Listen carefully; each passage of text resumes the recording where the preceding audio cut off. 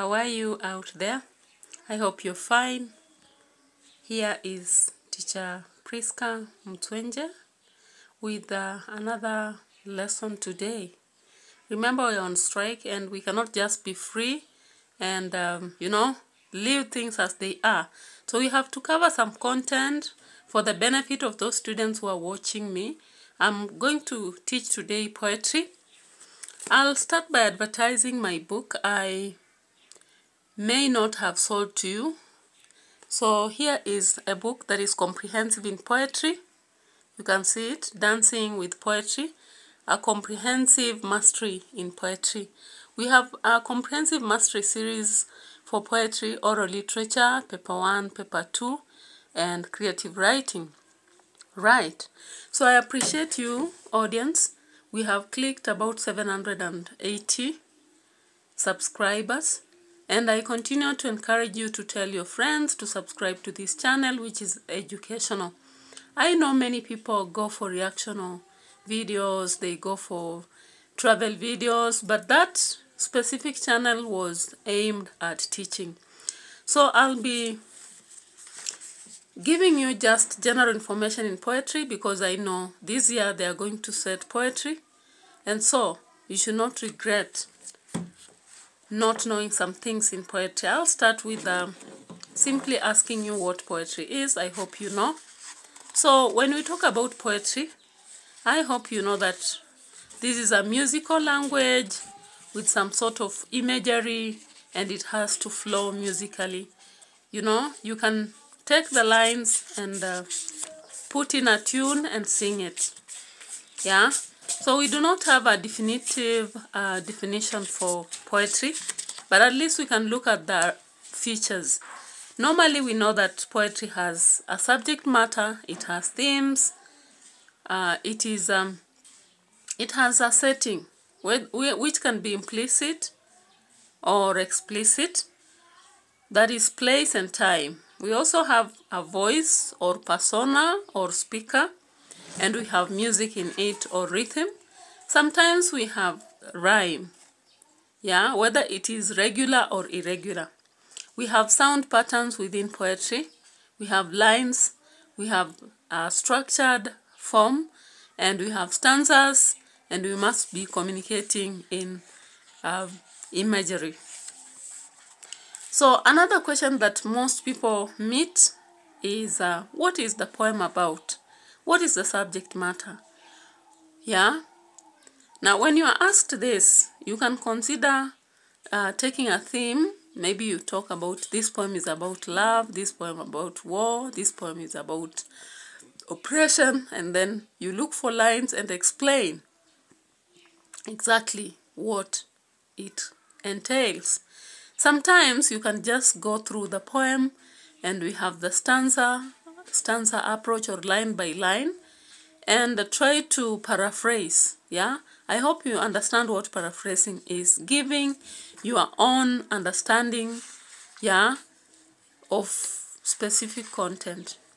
We have also a symbolic approach whereby you can go through a poem and uh, we have a deeper meaning.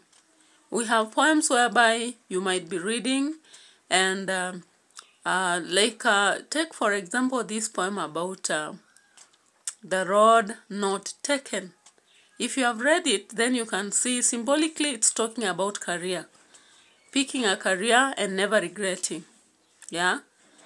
We have another poem, um, the, is it the, the word that lives in the moo tree?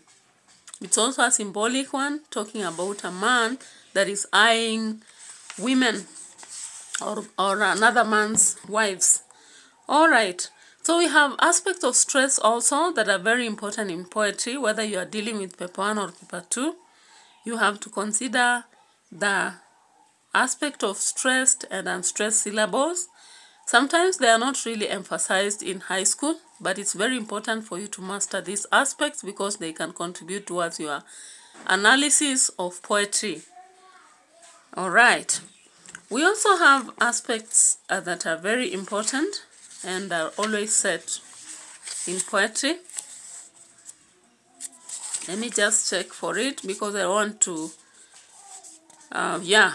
So we have aspects such as punctuation. Whenever you're dealing with poetry, look at them. Sometimes when you see like a, a semicolon, give weight to it because it uh, offers enjambment. Yeah? Like movement of thought. Yeah? Yeah, you move from one thought to another. You rest. Yeah? You pause for a while. When you see a full stop, possibly there is an end of uh, you know, you know an um, idea and therefore we have to create such a pause so that the reader pays attention yeah um, if you look at poems by Hughes yeah h-u-g-h-e-s he really loves poems where we have full stops to show the flow of action and whenever an action has happened, then there is a pause with a full stop. In other poems, we have commas. Of course, commas help us to pause and allow us to absorb information.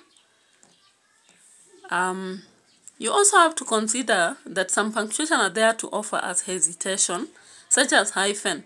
If you see hyphen ellipsis in a poem, sometimes we have an incomplete thought or interrupted or uncertainty of ideas. Now, when you look at poem uh, poetry, uh, poetry sometimes takes variety of language. We have archaic language. I hope all of us know the kind of language William Shakespeare uses. Yeah, bear God, without. Yeah, so that is archaic language or English. We have pidgin English also. As those of you who have interacted with New Integrated Book 1, you've seen this poem uh, as Mama Don't Kill My Chicken. Yeah? And that poem is pidgin throughout. We have vituperation. Those are the poems whereby sometimes people use uh, taboo language. Yeah, bring out words as they are. We have also informal English. I hope you know informal English, whereby you can talk about guy you can talk about cop instead of police and so many others. So all these uh, choices have intentions, yeah? So you have to check out depending on which poem. Now I'll move on to poetic devices. I hope you know that we have verbal devices or verbal cues or verbal skills that we often use in poetry. Some of these um, Devices include voice projection. And when you are handling this, mostly is in paper one, whereby you have to talk about the voice. I'll raise my voice, maybe I'll be loud enough to be heard when I'm saying this word because it carries weight, you know. We have stress. And uh, when you go to stress, we have word stress, line stress, or emphatic stress, where you uh, have just to pick certain words because you want to articulate specific meaning. Maybe it's line stress because there is an intention again. Yeah? And in most cases, you bear with uh, what meaning you want to bring out. Functional words mostly are stressed. Those are verbs, adverbs, adjectives, and nouns because we have specific communication. And you have to find out as a student when you're answering questions we have tonal variation, which is another verbal skill. And here you change or shift your voice, all right? So you can be soft to lull or to calm or to soothe. You can be loud to scorn, to mock, to show hatred or disgust, yeah? There is also voice variation. This is the volume, the pace and speed of your communication can vary you can be a bit yeah slow fast you can uh, you know be very loud or maybe just soft because you want to communicate certain feelings or emotions we have intonation. We have tone variation and intonation. I hope you heard. Tone variation is the shift of voice. Soft or loud. When we come to intonation, there is rising and falling of the voice. And I hope you understand situations where you can have a rising intonation or falling so that when you handle a specific poem, you know that you will raise or uh, you will have to fall. There are so many situations that are related to that. We have pauses. We call them pregnant pauses. If we have, we want to give meaningful or momentary silence to create suspense, sometimes we do use pregnant pauses. And you will see this in a poem when you, uh, you meet commas, sometimes ellipses, exclamation marks, hyphen. All right?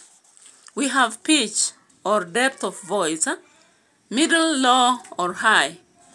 Sometimes when we are emotionally charged, we can be excited, furious, surprised, joyous, irritated. Then we normally have a high pitch. We can have a middle or low pitch when we are tired, sad, we are ending a conversation, and so forth. We have tempo also, the speed of performance. When we are dealing with paper one, you meet some poems where you are told to use, uh, say, maybe how would you say this part? So you can decide to be fast or slow. Fast, possibly when there is urgency or excitement, yeah? When you are so excited, most of us, when you're excited, we are very fast in how we'll speak. I've won it, I've won it. Yeah? When there is urgency, come on, somebody's dying. Then, slow, when we are relaxed, there is introspection. I don't know what is happening, but I think there is something wrong, right? Then there is volume, loud or soft volume, loud or soft. Now, nonverbal skills or cues or aspects, we have facial expressions and never just say facial expressions. Go specific and say whether you will raise your eyebrow to show confidence, you will drop your eyebrow to show fear, you will frown to show sadness, you will smile to show joy, you will sulk to show irritation and so forth. There is posture or poise. Posture or poise comes when you gesticulate. Yeah? And so you can gesticulate, you can droop, you can shiver, you can falter, you can stand upright, depending on what you want to show.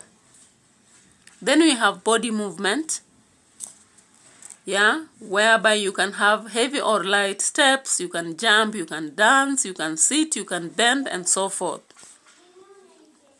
We have gestures too, yeah, such as waving, holding a fist, pointing a finger, punching, folding your hands, twisting the wrist, clapping, and so many others that we experience every day.